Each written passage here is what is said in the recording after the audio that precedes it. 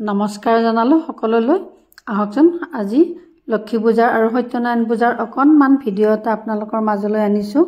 এয়া আটাইখিনি ফল প্ৰকাৰ বুট মাহ ভিজাই ধুনীয়াকৈ ৰেডি কৰি ল'লোঁ।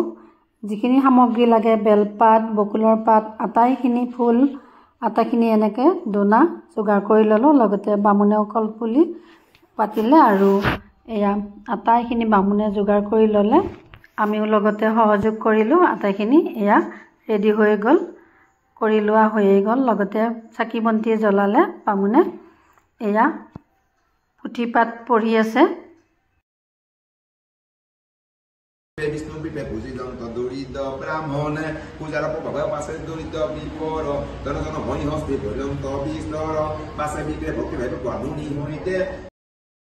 সত্যনাৰায়ণ পূজাৰ পাঁচালিখন বামুণে খুব ধুনীয়াকৈ চাই আছে আমিও খুব ভালদৰে শুনি আছোঁ। এয়া শেষ হ'ল লগতে অঞ্জলি দিম এতিয়া। আৰু এয়া সকলোৱে ফুট ল'লোঁ এয়া আঁঠুকাৰি সেৱা ল'লোঁ আৰু আশীৰ্বাদ ল'লোঁ। আমি যাতে সকলোৱে ভালে থাকোঁ। এনেদৰে সকলো কামখিনি শেষ হোৱাৰ পিছত এয়া অকণমান ভাতৰো আয়োজন আছিলে নিৰামিষ ভাত এনেকৈ ল'ৰা কেইজনমানে ধুনীয়াকৈ বনাই আছে লগতে চাহো দিলোঁ সকলোকে বামুণেও খাই আছে এয়া প্ৰসাদ ৰেডি কৰি আছে এয়া ভোগ দিব ধুনীয়াকৈ এয়া আলহী অতিথি আহি আছে।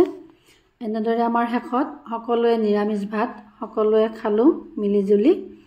এয়া আমাৰ ল'ৰাহঁতে সকলোৱে দিলে থলে ধুনীয়াকৈ শেষত সকলোৱে খাই ফূৰ্তি কৰিলোঁ অকণমান।